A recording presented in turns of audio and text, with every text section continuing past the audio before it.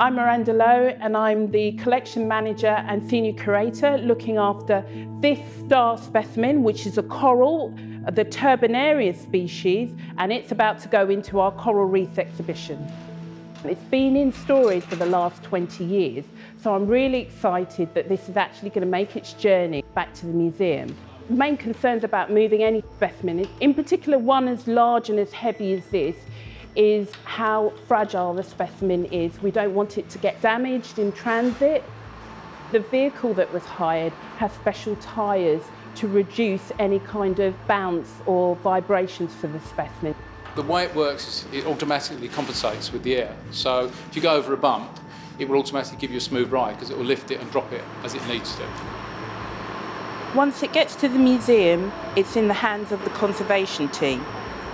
First thing we'll do when we get it across is we'll take the lid off and have a look inside and see how well it's travelled. And then we'll gradually try and remove all the packaging around it so we can get a good 360 degree look. And then we can start talking about how we're going to treat it and make it beautiful for display. One thing I do love is to take a specimen that needs care, needs a little bit of treatment. So have a good look underneath, Miranda.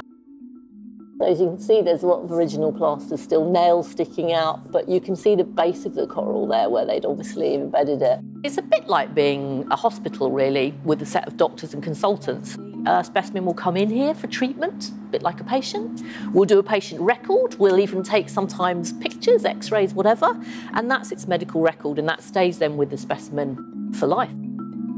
It's quite fabulous because now, for the first time, I can see around now it actually exposes its uh, glamorous side and its uh, non-glamorous side, as it were.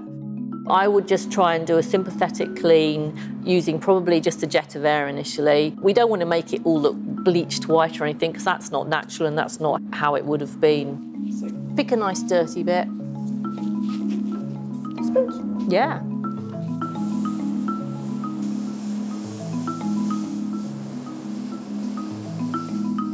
So it's looking so much better now, isn't it? I can't believe it. How many days have you done so far on it? Um, it's been about six days now.